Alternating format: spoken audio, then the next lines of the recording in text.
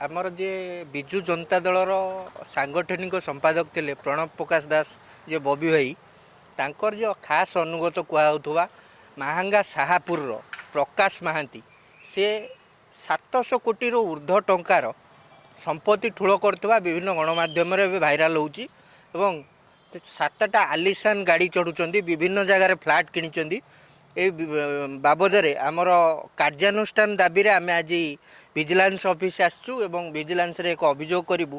ତାଙ୍କର ଯେତେ ସମ୍ପତ୍ତି ସବୁ ଠୁଳ କରିଛନ୍ତି ସେ ବାବଦରେ ଗୋଟେ ଉଚ୍ଚସ୍ତରୀୟ ତଦନ୍ତ କରାଯାଉ ଏବଂ ଏ ଗୋଟେ ଟିମ୍ ଗଠନ କରି ଏ ଟୋଟାଲ୍ ସ୍କାମ୍ରେ ଯିଏ ଯିଏ ଅଛନ୍ତି ତାଙ୍କୁ ସାହାଯ୍ୟ କରୁଥିବା ଯାହା କିଛି ଗଣମାଧ୍ୟମରେ ଖବର ପ୍ରସାରଣ ହେଉଛି ଯେ ପ୍ରଣବ ବଳବନ୍ତ ରାୟ ପୂର୍ବତନ ଧର୍ମଶାଳା ବିଧାୟକ ଏବଂ ଦିବ୍ୟଶଙ୍କର ମିଶ୍ର ଯିଏ ଜୁନାଗଡ଼ର ବିଧାୟକ ଏବଂ ବ୍ରହ୍ମକେଶ ରାୟ ଯିଏକି ଏଁ, ଭଦ୍ରକ ଜିଲ୍ଲାର ଚାନ୍ଦବାଲିର ବିଧାୟକ ଅଛନ୍ତି।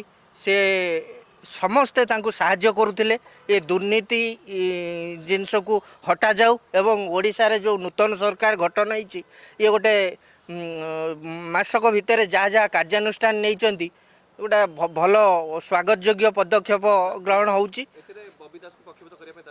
ହଁ ବବି ଦାସ ନିଶ୍ଚିନ୍ତ ଭାବରେ ପକ୍ଷଭୁକ୍ତ ହେବେ। ଯେହେତୁ ସେ ମାନେ ଯେକୌଣସି ଇଏରେ ଖବର ପ୍ରସାରଣ ହେଉଛି ପନ୍ଦରଶହ କୋଟି ଟଙ୍କାର ଉର୍ଦ୍ଧ୍ୱ ସମ୍ପତ୍ତି ଏମାନେ ଲୁଟ୍ କରିଛନ୍ତି ଏବଂ ଆ ଦେହରେ ବବି ଦାସ ନୁହଁ ତାଙ୍କର ଆଉ ଜଣେ ଖାସ୍ ଅନୁଗତ ସୁବ୍ରତ ଛାଟୋଇ ମଧ୍ୟ ଅଛନ୍ତି।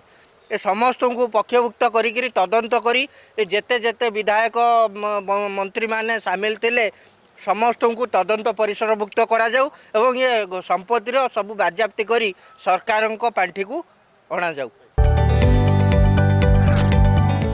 ଯଦି ଆପଣଙ୍କୁ ଆମ ଭିଡ଼ିଓଟି ଭଲ ଲାଗିଲା ତେବେ ଆମ ଚ୍ୟାନେଲକୁ ଲାଇକ୍ ସେୟାର ଓ ସବସ୍କ୍ରାଇବ୍ କରିବାକୁ ଜମା ବି ଭୁଲନ୍ତୁ ନାହିଁ।